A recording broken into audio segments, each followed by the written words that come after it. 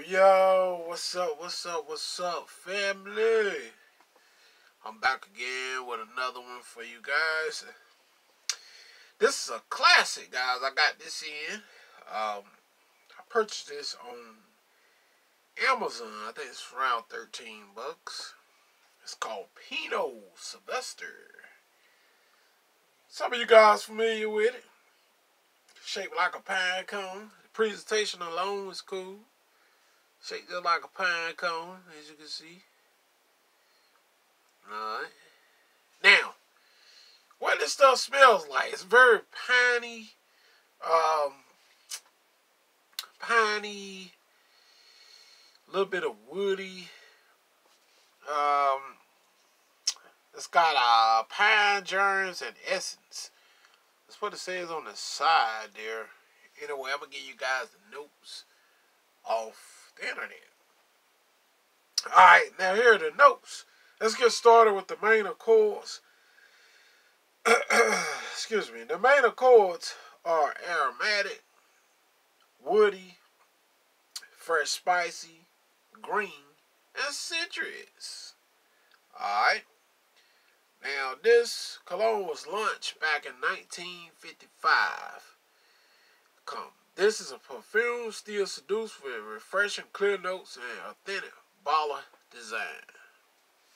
Alright, and it's saying off the top, the heart, this and that. Okay, it's saying bought a handful of freshness and sweetness of bergamot, lavender, basil, shiny lemon, and juniper berries in the top notes.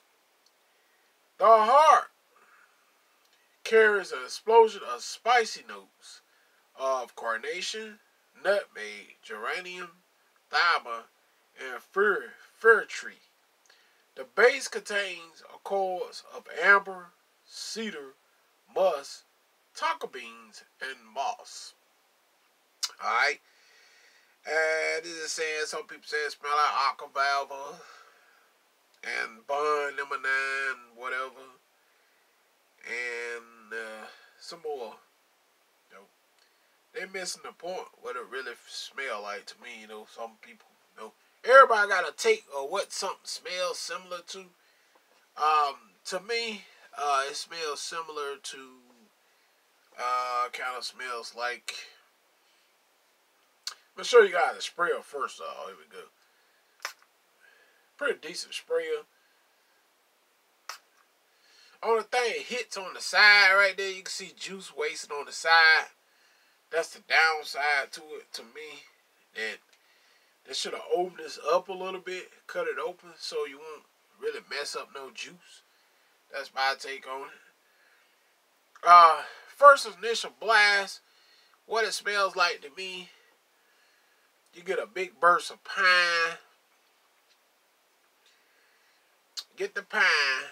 Um, it's like a pine where you, like a pine, I would say, like fresh pine that you pull from a tree type pine.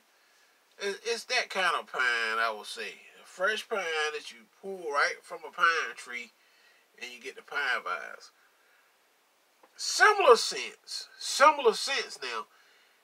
Did, to me, this smell, if you guys familiar with Fahrenheit, Christian's Dior, Fahrenheit, that's a similar sense that it smells similar to. I first blast this like this. I get that's the similar. That's the sense that reminds me a lot of guys. Smell like Fahrenheit, Dior Fahrenheit by Christian Dior, the original Fahrenheit. It's got kind of like a gassy smell a little bit, mixed in with a little piney. It's not very piney, you know, dirty, gassy, mixed with a little pine, not a lot of pine. It's shaped like a pine cone, as you can see, but it's not a lot of pine here, know, really, to be honest. That's what it smells like. It smells like Fahrenheit. Christian Dior Fahrenheit, guys. I don't know if anybody else on YouTube told you guys that.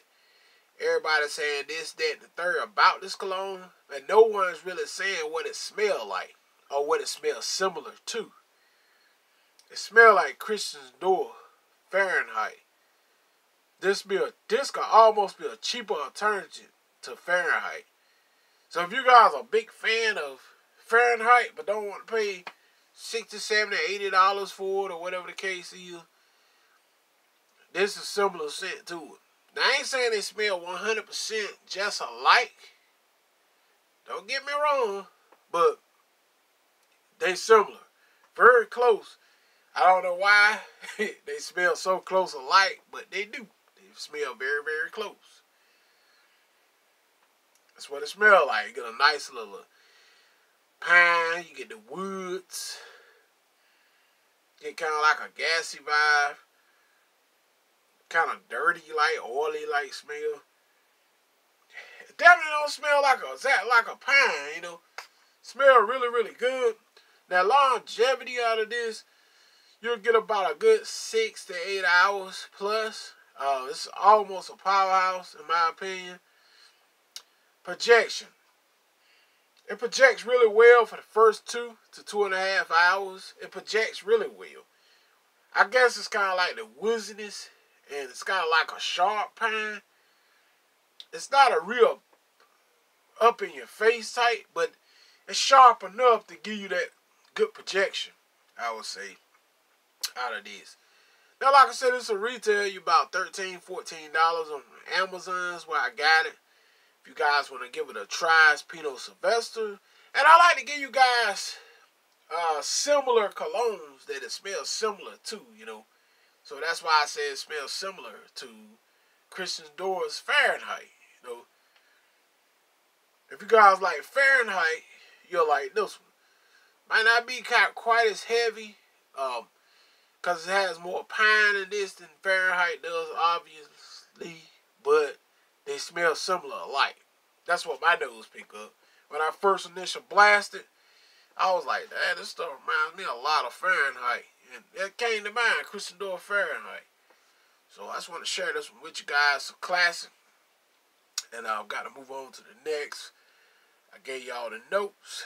And now it's up to y'all to pick it up. Anyway, I hope you guys enjoyed. If you're new to my channel, don't forget to comment, rate, and subscribe share my videos with your family and friends. And yo, y'all give it a try, man. It smells similar to Christian Dior's Fahrenheit. Till next time. So cheaper Fahrenheit. I hit y'all on the next one. I'm out. Peace.